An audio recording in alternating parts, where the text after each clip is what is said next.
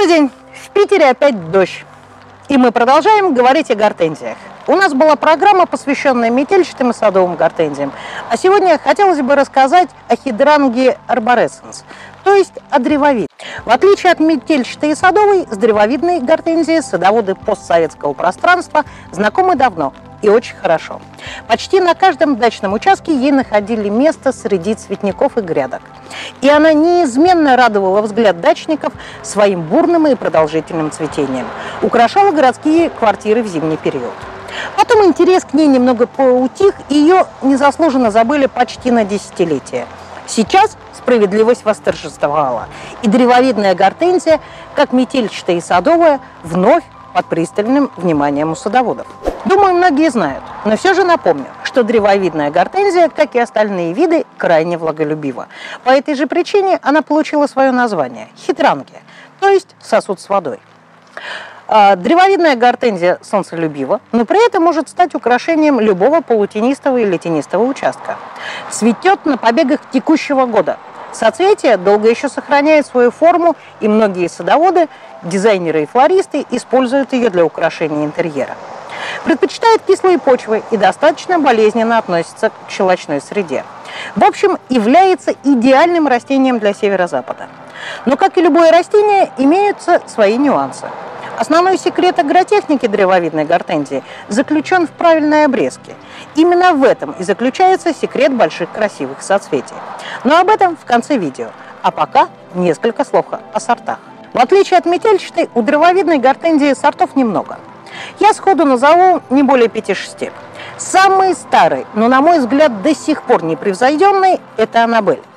Сорту более 200 лет. Был выведен в 1746 году в Соединенных Штатах, в деревне Анна. Видимо, название деревни послужило названию сорта. Кустарник достигает полутора метров в высоту и иногда до трех метров в диаметре. Соцветия шаровидные, цветки в соцветии почти все стерильные. Аннабель, как и все древовидные гортензии, сохраняют белую окраску цветов до конца. Они не меняют ее на розовый, в отличие от метельчатой гортензии.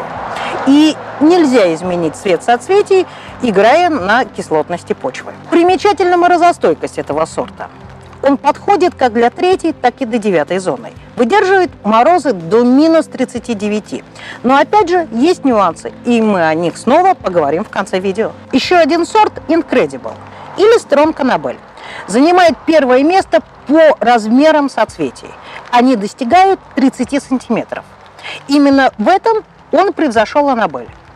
Пользуясь языком современной молодежи, я бы сказала, что это апгрейженная Аннабель. У этого сорта есть еще одна отличительная черта. Это изменение соцветий. Сначала они лимонно-зеленые, затем белоснежные и в конце снова зеленоватым оттенком. Сорт также абсолютно зимостоек. Ну и долгожданные сорта древовидной гортензии. Эти сорта с розовыми цветками и соцветиями. Такие соцветия имеют пинканабель и белланна.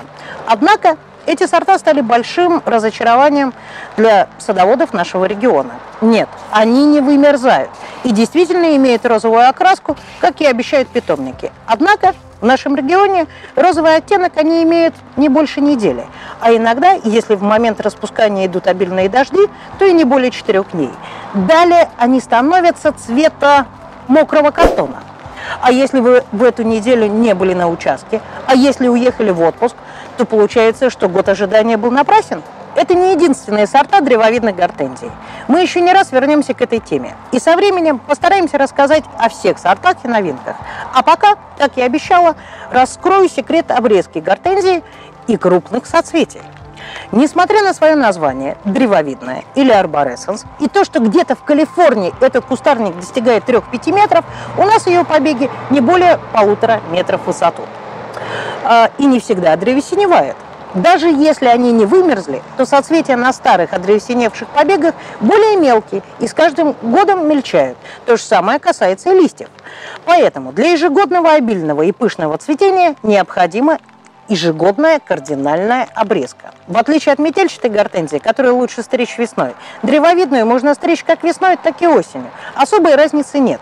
Единственное, что весеннюю обрезку имеет смысл провести до начала вегетации, то есть до распускания почек. Не надо бояться низкой стрижки. Итоговая высота зависит не от того, как высоко или низко вы ее подстрижете, а от возраста самого кустарника. Кардинальная стрижка наиболее оптимальна для этой гортензии. Я называю ее подкотовского. Куст обстригается почти под ноль. Вы оставляете только 2-3 пары почек. Это примерно 10-20 сантиметров от всего куста. Совсем выстригаются побеги старше 3-4 лет. Таким образом, куст все время омолаживается и держится в тонусе, а вы имеете большие соцветия. На этом все. Дождь, как и рассказ о нашей гортензии, почти подошел к концу. В следующий раз мы поговорим об удивительной гортензии, о гортензии черешковой. Подписывайтесь на канал, ставьте лайки, оставляйте комментарии. Оставайтесь с нами.